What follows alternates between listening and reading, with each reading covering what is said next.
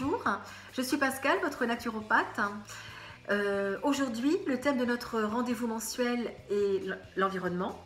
Je souhaitais aborder avec vous l'impact sur notre santé, non pas d'un environnement, mais de plusieurs environnements. Effectivement, au quotidien, euh, nous subissons les pollutions industrielles, les pollutions urbaines, agricoles, électromagnétiques, dans l'eau, dans l'air, dans notre assiette, et également euh, psycho-émotionnelles qui nuisent à notre santé. Et je voulais vous proposer quelques conseils pratiques à mettre en place concrètement au quotidien et qui nous amènent d'ailleurs euh, à adopter une attitude plutôt éco-responsable dans plusieurs domaines.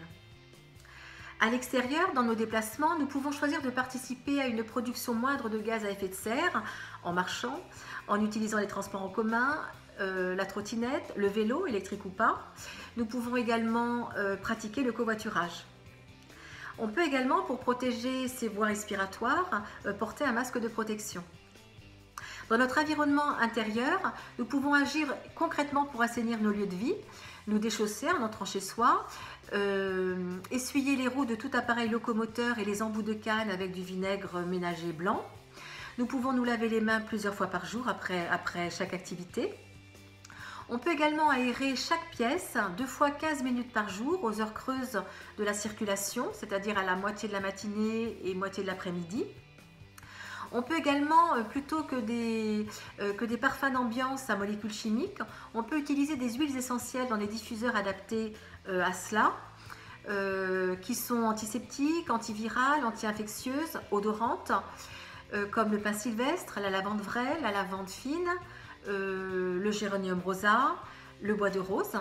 Une diffusion de 15 minutes par jour ou plusieurs fois par semaine suffit. On veillera à suivre le mode d'emploi propre à chacune de ces huiles et les recommandations de précaution d'usage, bien sûr. On peut également secouer sa, tête, sa couette, ses oreillers, ses coussins à la fenêtre plusieurs fois par semaine. On peut passer l'aspirateur, bien sûr aspirer les poussières du sol, mais également des tissus, plusieurs fois par semaine. On va en revanche éviter d'ouvrir pendant les périodes d'épandage sur les cultures en milieu agricole. On peut également avoir chez soi des plantes dépolluantes euh, dépolluantes de l'air comme l'aloe vera, le chlorophytum, le ficus elastica, euh, la sansevieria et, et la monsteria deliciosa. On peut avoir des appareils qu'on appelle des ioniseurs qui sont des purificateurs d'air qui améliorent donc la qualité de l'air intérieur avec la production euh, d'ions négatifs. On peut utiliser également le bol d'air jacquier qui par diffusion et respiration euh, permet une meilleure oxygénation de nos cellules sanguines et donc euh, d'améliorer notre vitalité.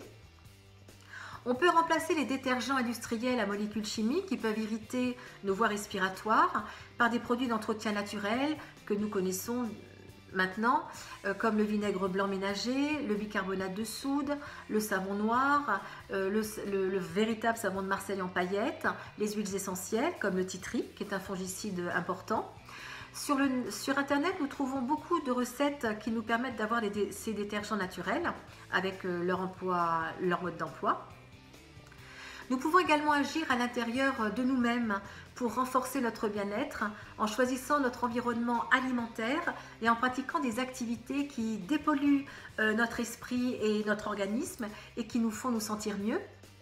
On va également éteindre toute source euh, d'ondes électromagnétiques au moins une heure par jour consciemment.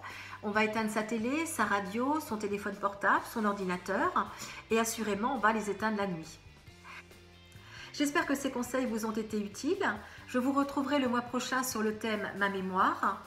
Je vous souhaite une très belle continuation, naturellement vôtre, et je vous dis à très vite.